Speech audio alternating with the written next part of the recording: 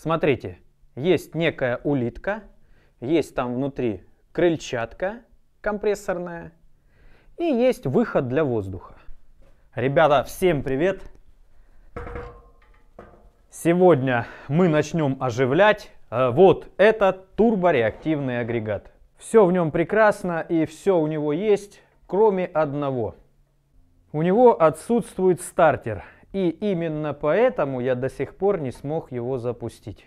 Хотя смотрите, как тихо и нежно крутятся подшипники. Их даже, можно сказать, что и не слышно. И в связи с этим я надеюсь, что и с балансировкой здесь все будет супер. Ну а вообще к чему это я?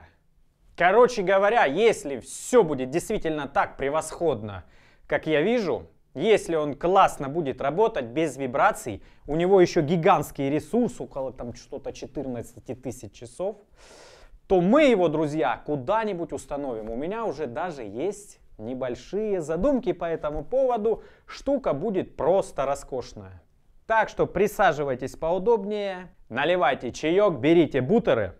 А я начну потихонечку вам рассказывать, как я буду внедрять сюда электростартер потому что без него запустить не представляется возможным. Когда-то этот газотурбинный двигатель был пускачом для запуска больших реактивных двигателей, и запускал он их с помощью избыточного воздуха, который можно извлекать из вот этого отверстия.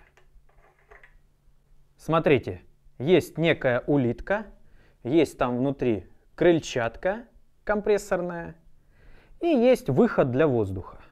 У меня уже есть некий подобный агрегат. Я его потихонечку здесь тюнингую, наворачиваю, добиваюсь более простой работы. И в принципе у меня все получилось. Но использовать его для каких-либо самоделок не представляется возможным. Слишком большой агрегат.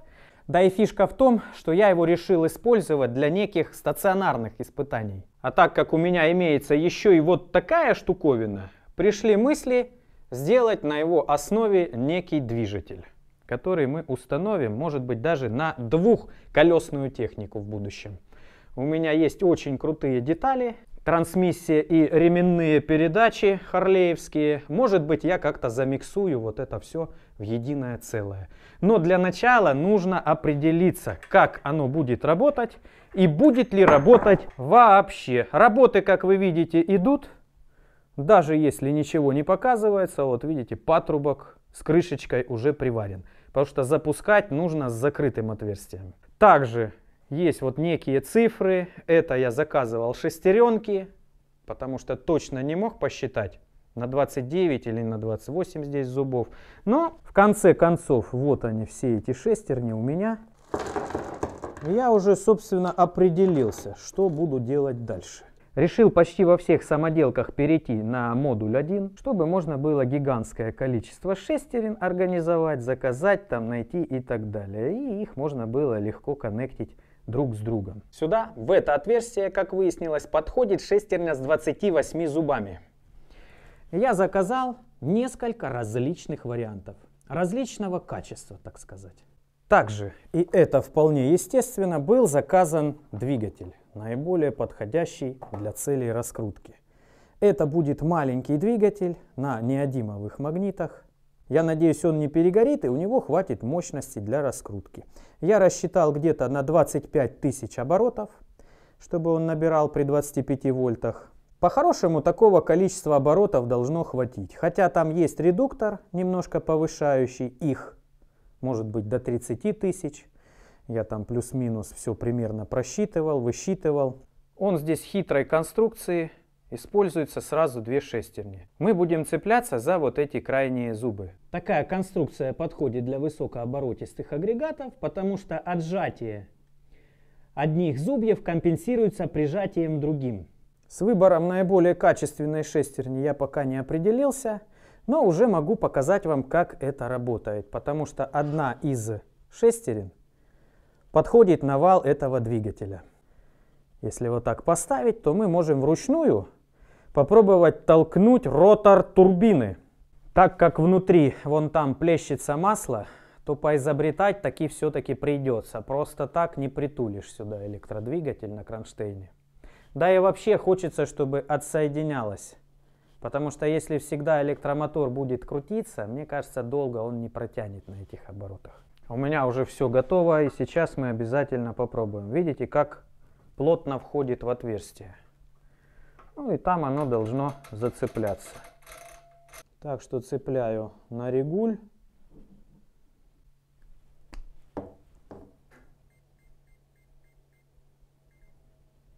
Ну все, движок сконнектился.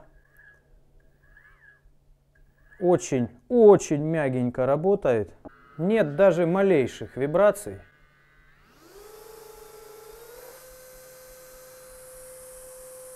И очень тихо, только ветер идет.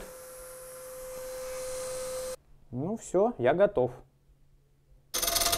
Ого, жестко стартует. Да, моща, конечно, адская здесь.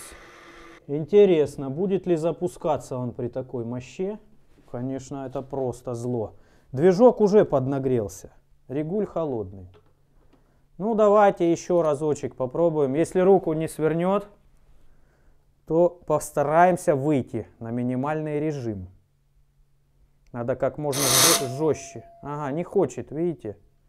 Не стартует, как всегда. Трясется все.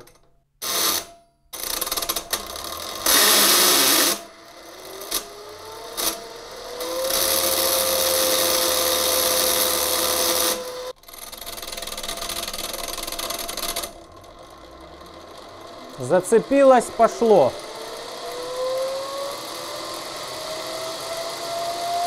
О! На разгон пошло, ребят.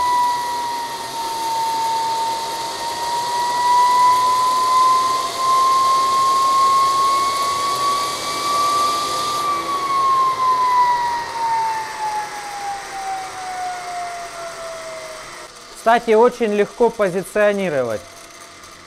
Ничего никуда не выстреливает, не выскакивает. Как-то самоцентрируется, что ли. Прекратил разгон, потому что стало очень горячо руке. Возможно, все-таки он немножко не дотягивает по мощности. Интересно, какие были оборотики. Скорее всего, продолжу экспериментировать. Аж что-то меня не устроил вот этот вот тарахтящий разгон. Это сейчас оно тарахтит, потому что рукой амортизирую. А когда оно будет жестко закреплено, оно вообще, скорее всего, не раскрутится от слова никак и от слова совсем. Есть у меня чем вас еще удивить, друзья. Давненько заказал вот такой гигантский шим-регулятор. Он на 200 ампер и не помню на сколько вольт. Но помню, что у него, по-моему, 5 киловатт это его нормальная работа. Также есть еще небольшой электростартер. Есть еще очень хороший реактивный вариант турбостартера. Пока что его не доделал. Но когда-нибудь точно доделаю. Фишка в том, что у него есть уже готовый электростартер, он уже подключен. Осталось накинуть провода и попробовать. Я надеюсь, что вам так же, как и мне, очень интересно посмотреть, как же будет шим-регулятор отрабатывать такую мощь.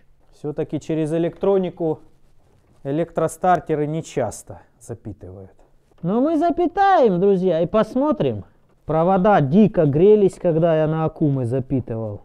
Такое чувство, что еще секунд 5-10 и они расплавятся.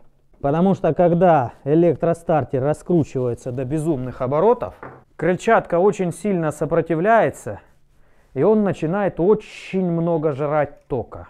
Вот сейчас мы это все и проверим. На этот раз не будет никаких резких ускорений, соответственно резкого тока потребления. И теперь появляется возможность все измерить. Кстати, хороший прибор, он месяц, получается, лежал у меня включенный. Я сейчас только увидел. И не села батарейка, то есть он ушел в спящий режим. Так, пошло дело. Что-то зашумело. Моторчик закрутился, но еще в зацепление не вошел. Так, пошел, пошел. Оп, все, вошел. 63 ампера. Вообще нормально. Вот такой вот мощный шим-регулятор, друзья. Попробуем понабалтывать.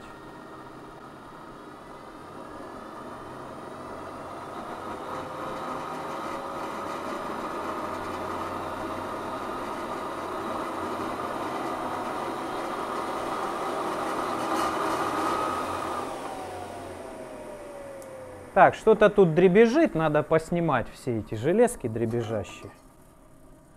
Это же можно теперь и вибрации проверять, получается. Какая роскошь! Только бы выдержал этот шим, он очень дорогой.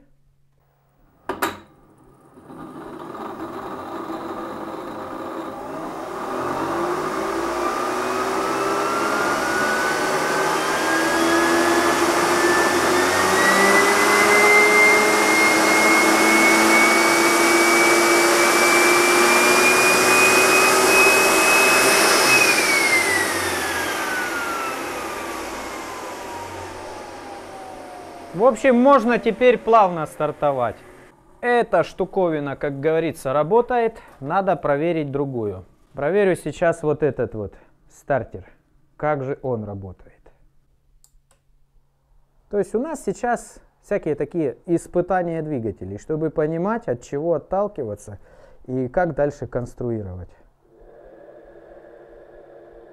Все-таки как классно, что сделали шим-регуляторы. И вот эта штука, она плавно, без всяких рывков будет стартовать. Единственное, что она, видите, гораздо больших размеров. То есть БК двигатели, они поменьше немножко. Вот смотрите, ток 11 ампер. Сейчас я буду вал тормозить. Ну, сопротивляется. Ну, до, до, до, до, до 34 ампер дошло.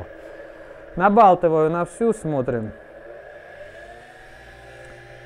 Чувствую, оборотики большие здесь.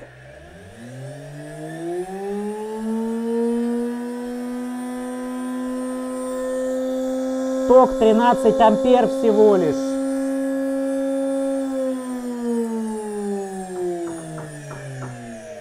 То есть без нагрузки оно как бы много не жрет. Это плюс. Ну что ж, надо оборотики все-таки проверить как-то, какие здесь. Закрасил маркером ржавую часть вала. Вот, сейчас разгоним по максимуму и посмотрим.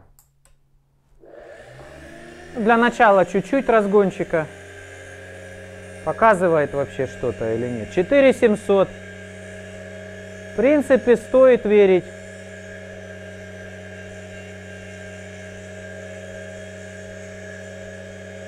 Ну, судя по звуку, все-таки шести надо верить. Набалтываю на всю. Что-то звук поменялся как-то.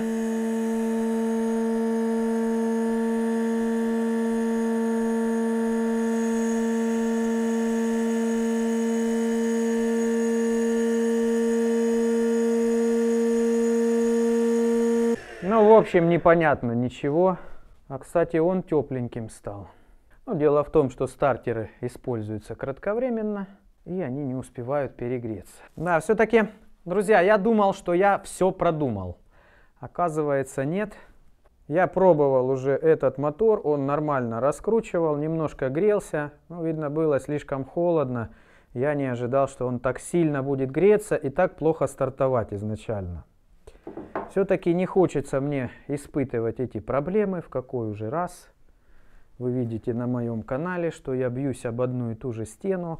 Надо мне, конечно, заказать нормальный регулятор и нормальные двигатели с обратной связью.